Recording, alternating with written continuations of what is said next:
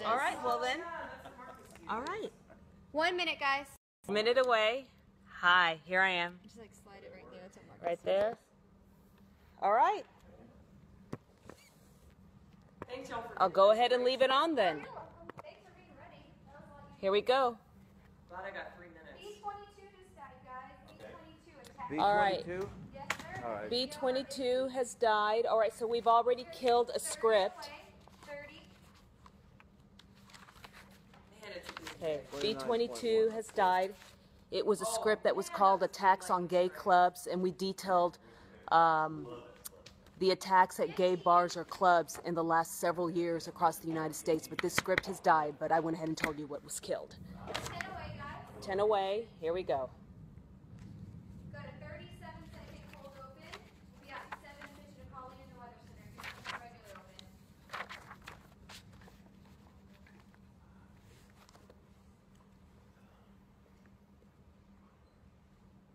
Thirty-seven seconds, guys. Okay, 30 seconds out. All right.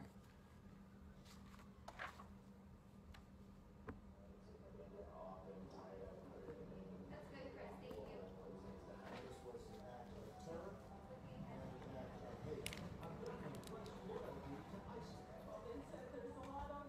We're 10 away. Just got a new script printed for us. We're 10 seconds away.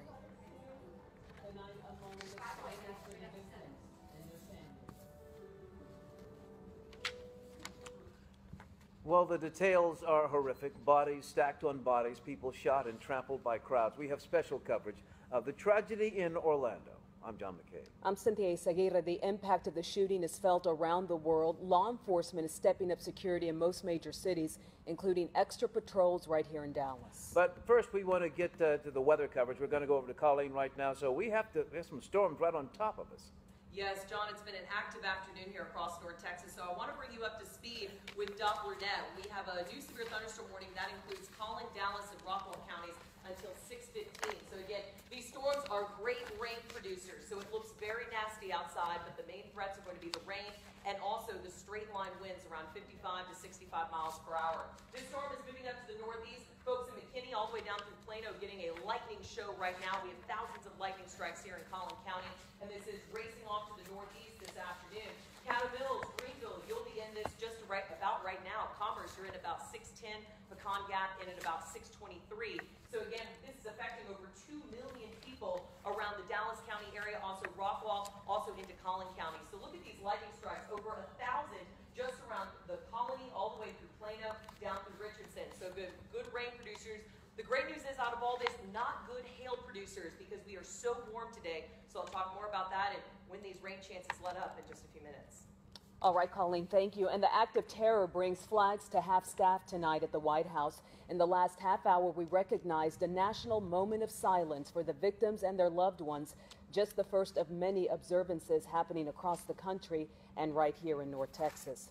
You can see another show of support at the Texas Governor's Mansion, where Governor Greg Abbott put up Florida's state flag between the American flag and our Texas flag. Information continues to come in on the 29 year old gunman. He is U.S. born Omar Mateen. His father says that he was upset by seeing two men kissing. We'll have more on him in just a moment. Orlando city officials, they're posting the names of the dead as soon as their families have been notified. So far, there are seven names. You can go to WFAA.com and click on the story City of Orlando begins identifying mass shooting victims. Right now, police are actively investigating three scenes the Orlando Club Pulse, of course, where the shooting happened, the suspect's home, that's in Fort Pierce, Florida, and the suspect's father's home, just west of there in Port St. Lucie. Now, the terror inside Pulse started around 2 this morning when the gunman opened fire. That led to a three hour standoff with police. The fire department called the bomb squad at 3 in the morning, and then by 5 a.m., police stormed the club. For more on the siege and the suspect, we turn now to ABC's Marcy Gonzalez in Orlando. 156 package here, guys. I'll stay seated. Okay, everybody doing okay? We are now in a package from ABC, a story detailing the nuts and bolts of what happened in Orlando, and then we're giving you um, breakout facts throughout that package. But right now we're listening to witnesses who were there inside of the nightclub. Oh, what a day. And then I'm going to get up and leave here in just a few, in the, about a minute or two, and I'm going to go do a story over here talking about the response on social media to this horror in Orlando. We're talking tens of thousands of posts on Instagram, Facebook, Twitter. So I'm just going to kind of give an idea of what people are saying and the thoughts and emotions behind what they're saying. I've never done this. So if you have any questions, ask away. This is odd watching you on TV now and the five second delay on here and watching Cynthia. Yeah, I know it is. It's odd y'all being here too, but it's kind of neat. Little less than a minute, guys.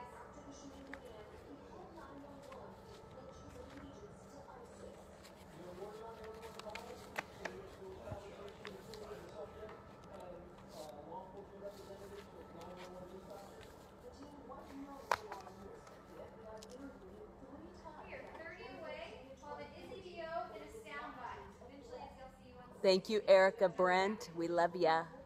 We love you too.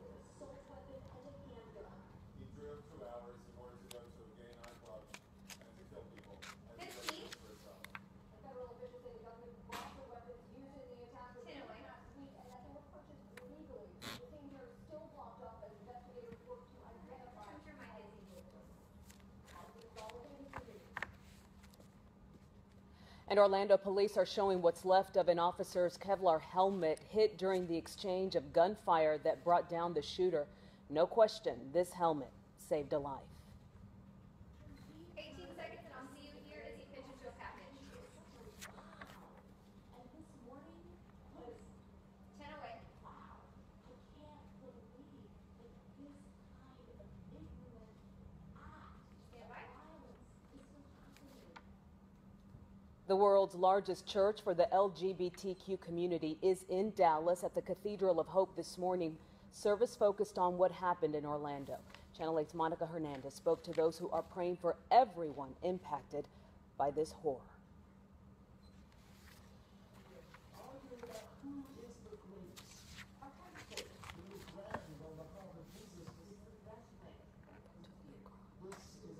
Muslim community is holding a prayer service for victims and their families at the Baitul, Baitul Ikram. Huh? Okay. Baitul Ikram.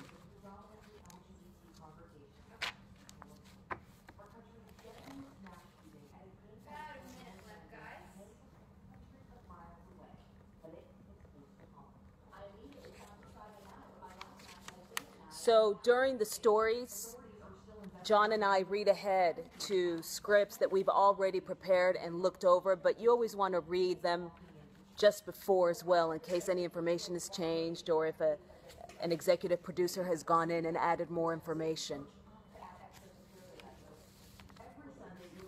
It's all about preparation. Got to be prepared. Izzy, you've got a couple VOs and then a John VO. The most important thing is for us to continue living our lives. We can't let people take 15. our lives from us.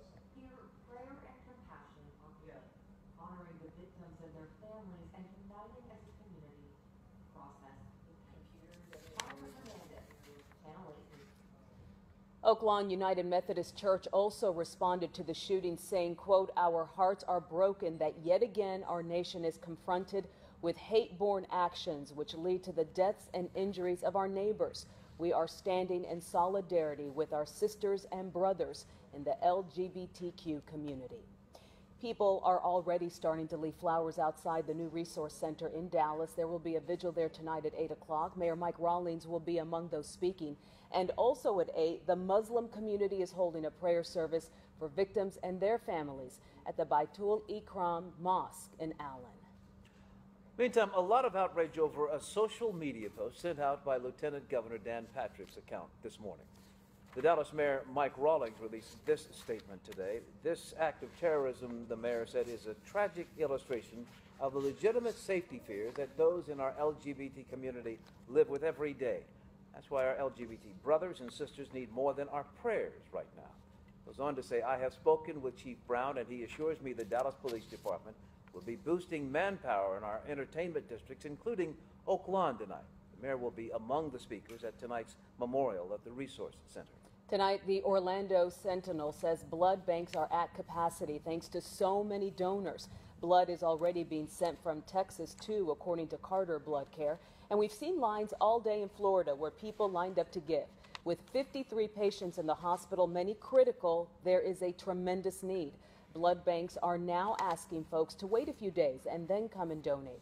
However, many gay and bisexual men are not being allowed to give tonight. There's a federal ban barring men who have sex with men to give blood unless they abstain from sex for one year.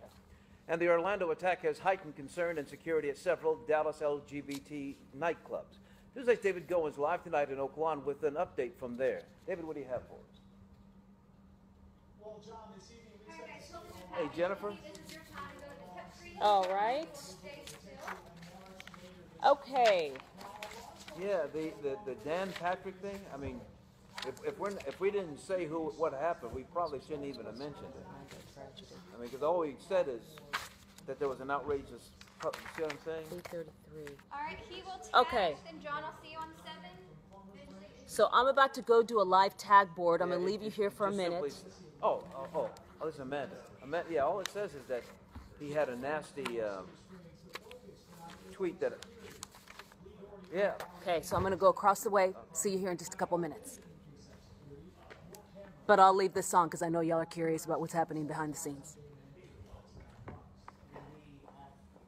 Don Burnett, and also how long this rain's going to last right after the break. I think the prompter will cut right past that weather tease. Sorry, I couldn't see. When That wasn't your fault. I didn't see a cue. so That's didn't your fault. yet, and then- Alright. Okay, how's everyone doing over here? you know, Amanda, we're, we're, we're gonna have to put that Patrick story in there somewhere. Bump in 'Cause instead. that's All all right, people guys. in Texas are I think I've given about. you a good idea of the behind the scenes. I'm going to go ahead and sign off for now, and I'll get. I see a bunch of comments here, and I can't wait to read them all, and I'll make sure to respond tonight. Thanks for watching, it looks like everyone, and uh, let's pray way. for Orlando and for all of our friends and neighbors. Good night.